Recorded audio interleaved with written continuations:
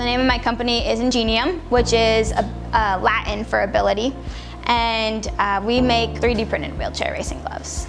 So I came here in 2012 as a freshman studying at the College of Business. Uh, and I came here mainly for the wheelchair racing team, which, because it's the only college in the country that has a program. I ended up taking a class all about 3D printing and that's kind of how I started getting immersed in this world. We were assigned a project where we had to bring in an object to get scanned and I was just brainstorming ideas with my coach one day at practice and he mentioned that I should try and bring in one of the gloves that we use to race with because the gloves that we use are all custom made so being able to scan that pair would make it replicable which had a lot of impact on um, our performance later on.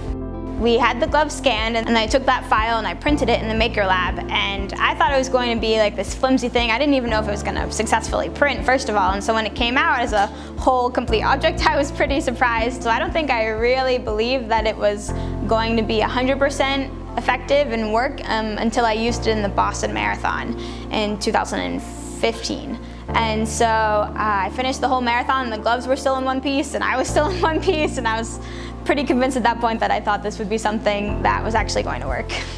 Seven of my teammates used my gloves in the Rio Paralympics, and I think maybe four medals were won while people were using the gloves, which I was just really humbled by because I didn't ever expect it to be that successful or that big, and so the fact that they were winning medals wearing these gloves was really, it was really cool to watch. When I have kids come and tell me that these gloves help them perform better at their high school track meet or that the gloves help them perform better at a 5K in their hometown. And I think that is what's most important to me because that's kind of what I set out to do when I created Ingenium is I really just wanted to improve access to the sport because the sport is so expensive to get started in. My gloves are a nice kind of like middle ground for people to really get started in the sport, which is really important to me.